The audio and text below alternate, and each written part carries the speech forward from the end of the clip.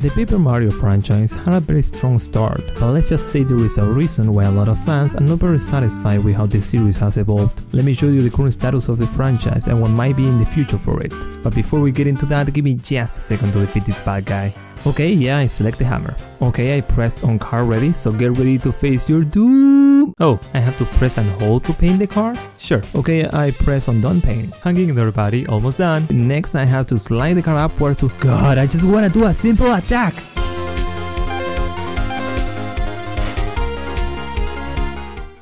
Paper Mario was released for the Nintendo 64 and became an instant classic, and for good reason. The turn-based RPG genre can be hard to get into and was not as popular at the time. A good way to increase exposure was to make a well-known character like Mario the protagonist, but they also had to make a lot of changes to the turn-based RPG formula to make it more appealing to a broader audience, which we'll go through later on. The first sequel to the series, and regarded by a lot as the best game in the franchise, is Paper Mario The Thousand Year Door for the GameCube. This game expanded upon the first one, without taking away anything of what people loved about the original. Unfortunately, the continuation of the franchise wasn't as well received, being Super Paper Mario for the Wii a very different game with no turn-based combat and more of a focus on platforming, and Paper Mario Sticker Star for the 3DS making a lot of changes to the formula that didn't stick well with the fans. Get it? Because it's called Sticker Star?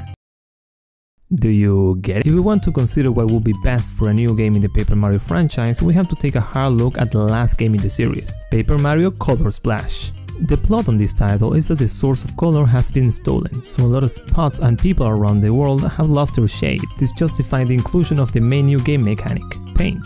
On this new adventure, you will find a lot of ink that can be used in combination with your hammer to paint back the world, which I find very creative and even rewarding to return a place to its former glory. Another important change is the use of cards. Instead of just using regular attacks, any action that Mario takes during combat is done by a card, which must be painted with the same ink you find lying around. At first glance, this entry definitely feels like a Paper Mario game. Colorful graphics, entertaining humor, wacky characters, and simple turn-based combat. But there is a lot more than meets the eye. I think my main complaint about this game can be divided between implemented mechanics and missing additions. Let's start with the first one. My first and main issue I have is with the combat. It's so damn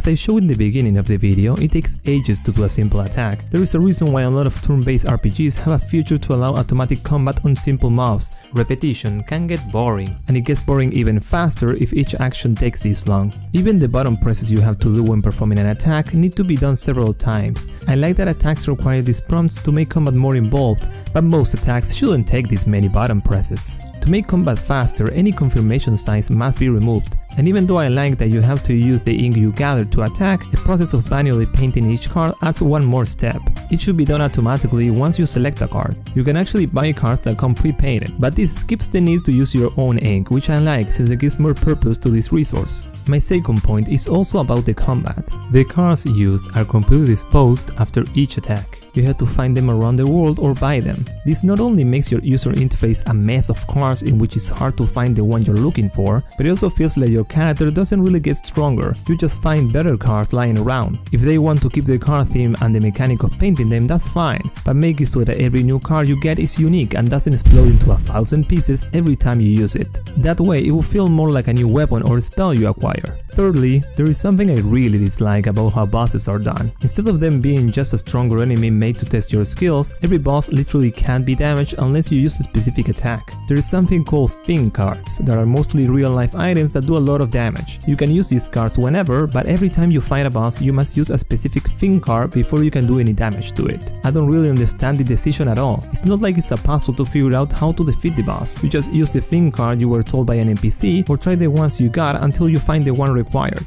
This can cause situations like when I went against a boss without having the obligatory thing card, so I just took a beating while he was completely immune until I died. Not frustrating at all! Now let's jump into missing additions. The first and most missed addition that was a staple to the franchise was companions. In this game you just play with Mario and that's it, but in other entries you slowly gather a party of colorful characters that you can swap around, each with their own unique skills. This is an awesome feature since it not only makes combat more varied being abilities of each companion different, but these skills could even be used to help you progress in the world outside of combat.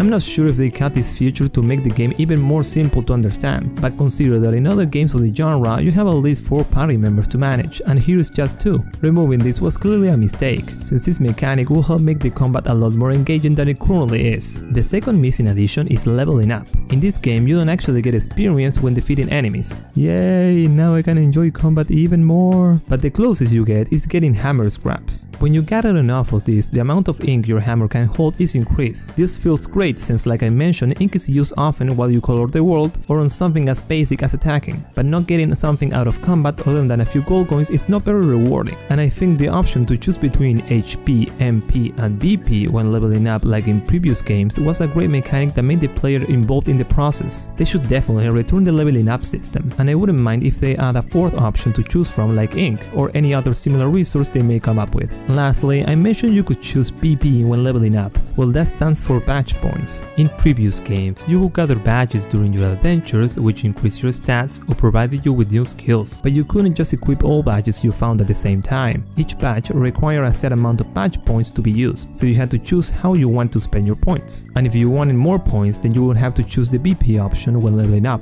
This system is great, it's similar to a regular equipment option for each character of a party in other games of the genre, but it's simplified and more unique. Once again, this sounds like something that was removed for the sake of making the game easier to understand, but I think this mechanic was simple enough on its inception, and you don't have to shower the player with badges or BP from the start, you can introduce it slowly after they have mastered other more basic concepts. This is totally missed since it adds depth to the combat and increases the feeling of progression and getting stronger that's clearly not as present as it should on this title.